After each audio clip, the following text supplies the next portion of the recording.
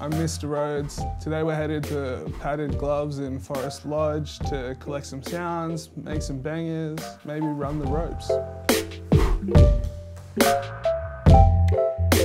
I would describe my music as sonic storytelling, hip hop with a bit of chaos, all sprinkled together and just mixed up. When Happy Mag asked me to be a part of Somewhere Sounds, I was super excited.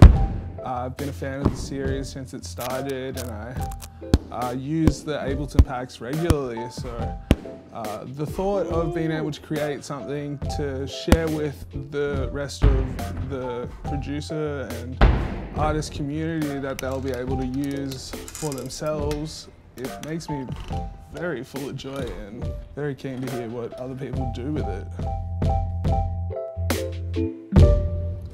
Uh, I chose the ring to create a sample pack because I've been a massive wrestling fan since I was nine. It was uh, me and my cousin who has cerebral palsy and couldn't do much sport, so we would hang out and just watch wrestling all the time, and it's kind of how we connected and still connect today.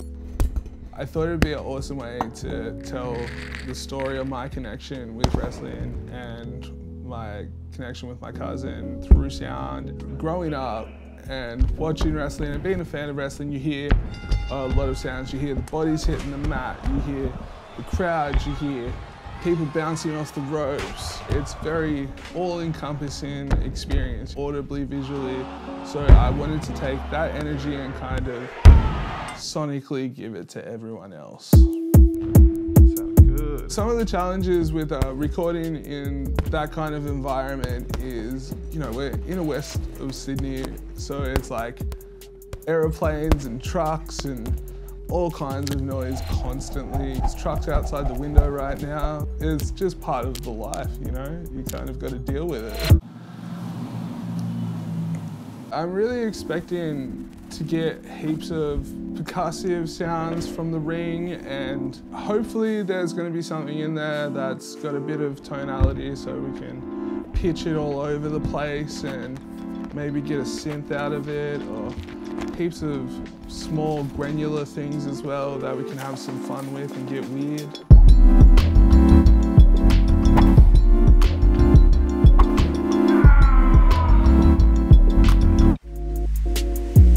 Once I get the samples, uh, we'll bring them back here to the studio and pull out EQ Eight, maybe a bit of resonator, try and get crazy with it, see what happens.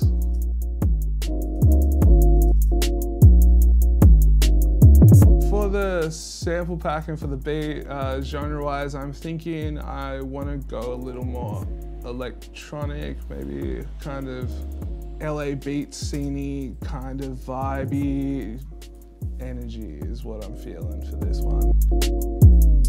My musical journey started out as a rapper. I was only rapping for a few years and then I couldn't find anyone to make beats for me so I was YouTubing how to make beats like X and uh, discovered Ableton and it's been a rap ever since.